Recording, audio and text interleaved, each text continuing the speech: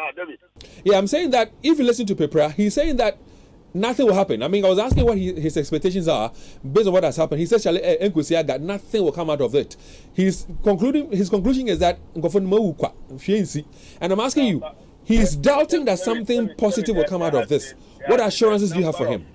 Uh, inquiries that are going into incidents of this nature, and uh, it has actually brought about a number of reforms. Uh, know, there are two issues involved we, we are looking at seeking justice for the people who are dead. And then we are also looking at uh, something that will also soothe the heart of the family. And then something to help them uh, for the, uh, uh the upkeep of the, the, the, the of the, those departed. And then at the same time, we are also looking at coming up with some administrative uh, uh, reforms that will help in shaping the way we handle these things going into the future. So um, I, I, can assure him that uh, this is something that is not just going to be swept under the carpet.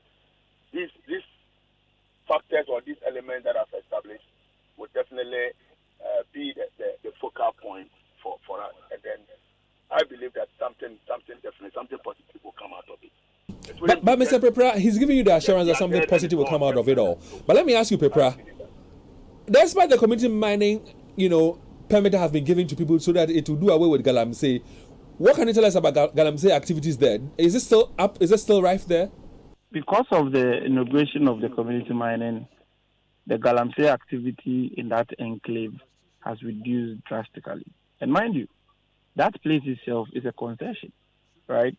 Forestry Minerals Commission, Lands and Natural Resource Minister has allocated that enclave to a company by name Supercare.